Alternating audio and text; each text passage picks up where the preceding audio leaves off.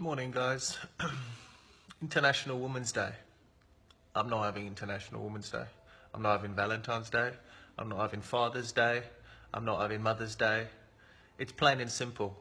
Treat each other with respect all day, every day. You don't need to make a song and dance out of 24 hours of, in a year. There's absolutely no interest from my side in it. It's just like New Year's Eve. New Year's Eve, what? We're celebrating the next day. What are we celebrating the next day for? It's a glorified piss up. That's all it is.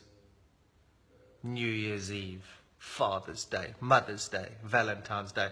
The only people who benefit are the people who sell flowers and sell alcohol and sell chocolates.